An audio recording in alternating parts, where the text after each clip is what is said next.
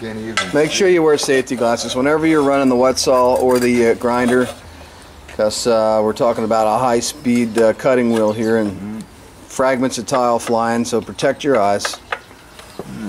Now, now you're gonna like this wet saw. It cuts really, really nice and clean with no dust. Turn it on. Let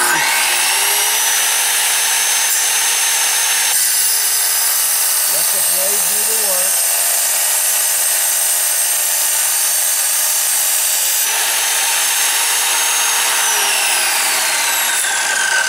And that's it.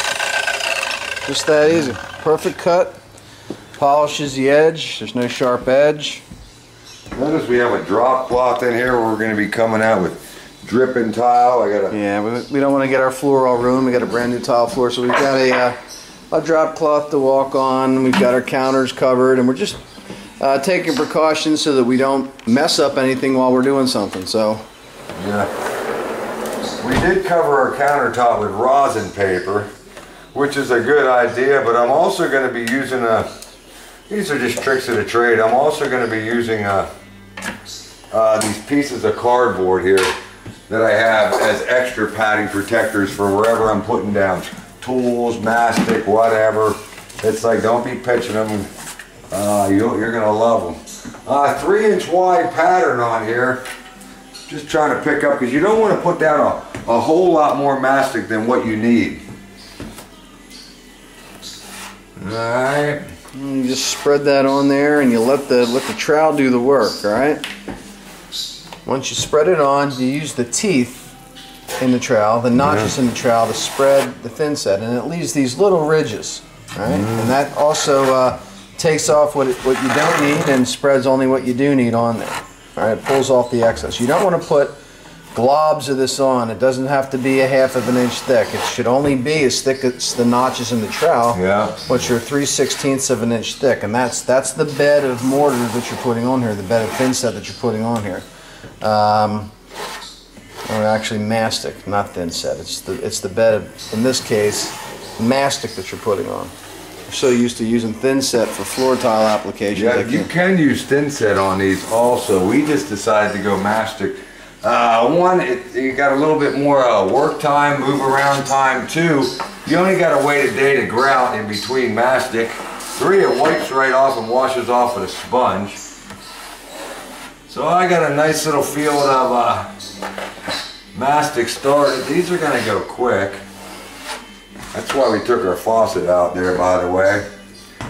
Uh, try not to leave any misses, gaps, uh, whatever. Alrighty. Okay. And the first one that we had there was our cut tile. Basically, And ours is, just happens to be going right up against the door. Your, yours may not be. I'm just gonna go up a little bit higher, making sure I got mastic under every tile. So I know I gotta go right to the bottom of the uh, outlet here. Okay. Alright. Just push them in and give them a bump with the side of your hand. Boom, boom. Yeah, Just a couple taps, and that sets them in the thin set. yeah. You don't want it actually gooking out through your through your tile. In the mastic. Yeah. Maybe I'll get it right here, Tom. I think we can call it, we calling it thin set a lot here. All right, so there's our first tile. We're almost done. Yeah. Alright. Yeah, right here where you do got uh, double, you know, a double net. I might just put a little bit just for giggles and what's uh, where the two are going to come together. These tile kind of space themselves. Okay. Okay. Once you get them set and you like what you see, let it alone. Bump them in there with the palm of your hand. All right. Get them, get them doing nice, you know, where they feel good. If you see anything falling or dropping, now's the time to go back, if you had to, and uh, put a spacer in. But these look pretty good. Wherever I just joined those two tile, which I couldn't even tell you, I guess is right about here. I'm just gonna check it with a spacer. Looks good to me, and we'll go on to the next one. When you go on to, let's say I'm using this one here next. And that spacer just keeps us on our, on our mark. Yep. Uh, this is my next pattern here that's going to be going on, but I got this extra netting here. If it's me, I would be cutting that extra netting out of my way. That's why I got a nice three quarter board here. Just a retractable utility blade Yeah. cuts that right off. I'm not cutting on a top of a piece of cardboard on top of a brand new counter. There we go. Uh, nice. is the way I would be doing it, and as you see, that's the way I did it. One, once again, I got a double mesh spot there, you know, where I, I definitely want a little bit of mud to hit that one that's sticking out where I got some double mesh. So I'm just gonna add just just a tad of mastic. That way I know that one's definitely, you know, where I squeeze through the double mesh, I know I'm in there. Every place else, I know I'm hitting. Flop them in. Let them sit right down on the counter. Yeah. Bump them in with your palm of your hand, and then get one of your little spacers in between each of your. Uh, Yeah, you can see right there where I join them together. My spacers are tight. So I'm gonna slide these over a tad. Like I said, just keep an eye on uh just keep an eye on everything. You can put a spacer wherever you need it. If, like I said, if you get too much mastic, uh, I can put them high and low. This mastic sets up kind of uh, quick. I can come back and pull them out as I need.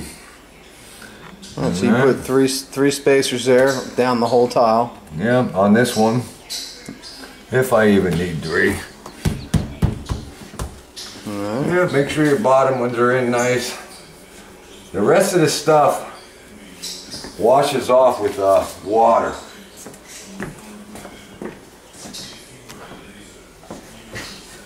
Like I said, I may look, I may make this look a little easy, but uh, Well, it, it is- really is it is- easy. it is easy. You're putting your uh, yeah, just make sure you got plenty of glue down. Pay attention, you're not scratching your faucet and your counter. Uh, make sure you got it to the height of the tile that you need. Yeah, pay attention, you're not bumping your faucet like I just did, but that was just a hose.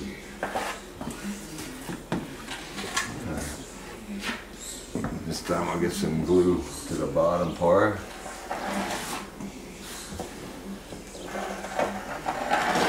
I could be going, uh, if I want, I could be going upward. If I want.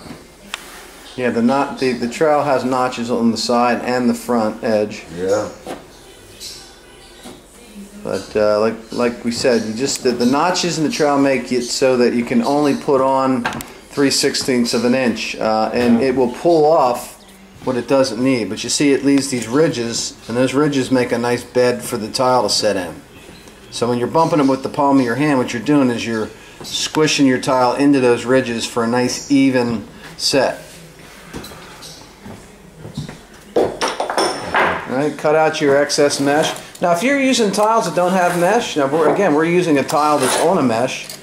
Um, I love backsplash tile that's on the mesh. Uh, you could be buying individual 3x3, 4x4, 6x6 tiles and doing them one at a time. Yeah. And if you are, then you're going to do the exact same thing. You're just not going to be working off of a sheet of mesh. But just imagine how long it would take to set all those little tiles, you know, one by ones and two by twos and two by fours and make it look that good.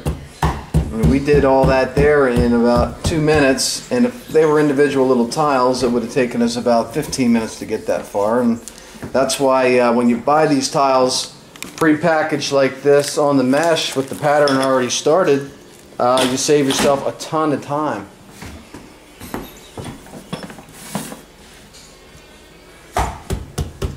All right, so easy so far, right, guys? I mean, this is. Uh, not the rocket science, or me and Tom would definitely not be qualified to do this. Well, maybe Tom would be. No, Tom, I, are you a rocket I scientist? did not take up you rocket didn't take that science, in, high, no, I and had- take that in college? I had astro. eh, eh, no. Astrophysics? Well, that's a form of it, isn't it? No. No. I was a ground equipment repairman, aerospace ground equipment repairman in the Air Well, Force. there you go. That's but close. that had nothing to do with ceramic It tile. doesn't doesn't qualify you as a uh, as a brain surgeon then. No. Right over here, where I did get a little bit of mastic uh, in between my joint. I can either clean this out now, or I can clean it out then. It don't matter. Yeah, but if you don't clean it out, Yeah, it, uh, it yeah, ain't you will. out. It ain't coming out. Yeah, it, well, it's, it comes out in a day, but you gotta like work it out with a nail or something. Check your spaces.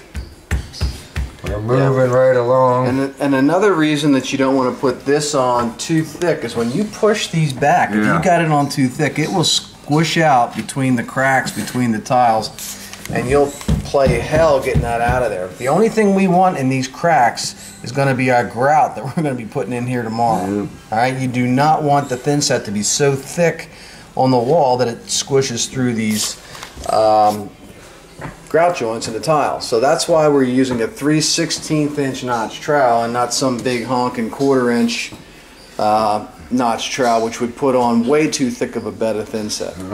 They also make an eighth inch notch trowel as well, which works well Yeah. too.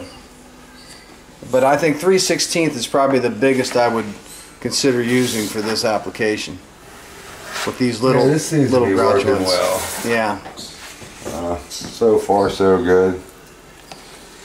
And I think we have plenty. What's that? Plenty of wall mastic. I bought two of these. Yeah. Yeah. Oh, we do got two areas.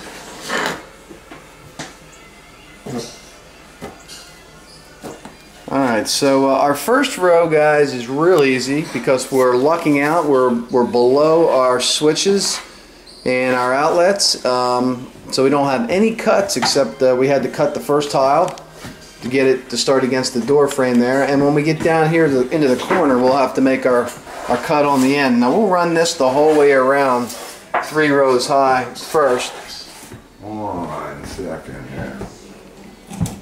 Okay.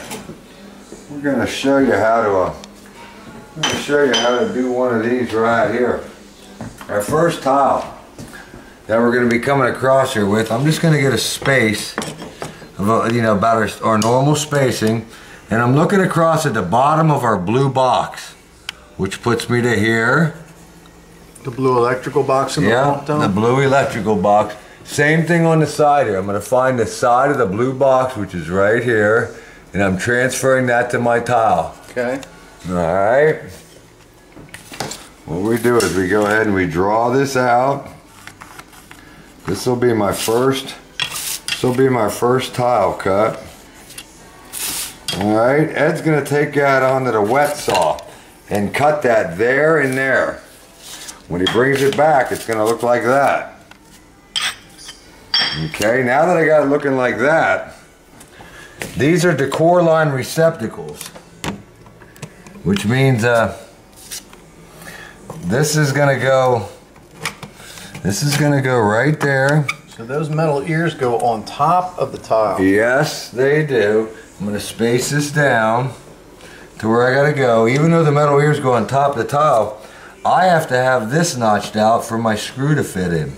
Wow. So now Ed's gonna take that back out and actually notch that down into a V or etch out as much of that as possible so that I even have room for my outlet to fit in there. So yep, he's gonna take this out right here. He's gonna cut me out a big loop without breaking that tile.